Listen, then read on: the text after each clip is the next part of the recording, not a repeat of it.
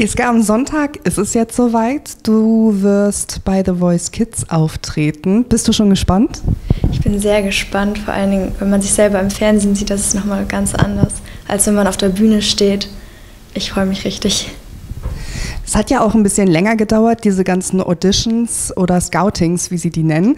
Seit April wart ihr da in Hamburg und Berlin unterwegs. Wie muss man sich das vorstellen? Also man muss sich bewerben, ein Bewerbungsvideo hinschicken und dann habe ich am nächsten Tag schon gleich Bescheid bekommen, dass ich nach Hamburg eingeladen bin, dass ich da vorsinge. Und dann bin ich dort auch weitergekommen und ähm, dann musste ich nochmal nach Berlin und ich habe drei Songs bekommen, die ich singen muss und dann habe ich die vorgesungen und bin dann halt jetzt in den Blind Auditions gekommen. Und was ist das für ein Gefühl, jetzt bei den Blind Auditions zu sein? Du darfst ja noch nicht so viel verraten, aber vielleicht so ein bisschen anteasern? Also es ist schon ein krasses Gefühl, weil schon immer mein Traum war, auf so einer großen Bühne zu stehen und da sind einfach so viele Menschen vor einem, die man ansingt und ja, es war einfach ein sehr gutes Gefühl. Deine Liebe zu Musik ist aber auch schon ein bisschen älter. Du singst ja auch nicht erst seit gestern. War das Singen äh, schon eine kleine Liebe auf den ersten Blick oder hat es ein bisschen länger gedauert? Also ich würde schon sagen, dass das Singen Liebe auf den ersten Blick war, weil Singen und generell die Musik ist einfach mein Leben und mit siebeneinhalb Jahren habe ich ungefähr, also meine Musiklehrerin hat entdeckt, dass ich singen kann und seitdem liebe ich es einfach. Wie wirst du am Sonntag The Voice Kids gucken und mit wem? Ich werde mit meiner Familie The Voice Kids gucken und ähm, ja, ich freue mich drauf.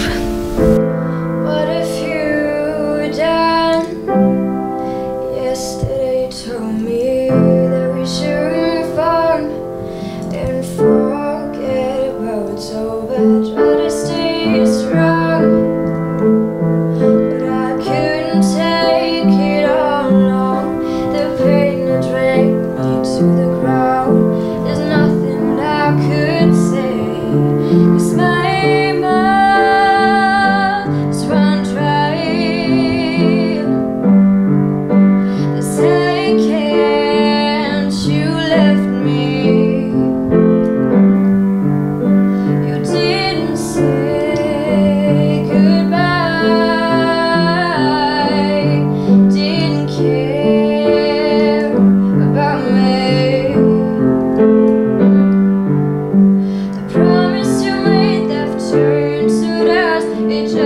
mirror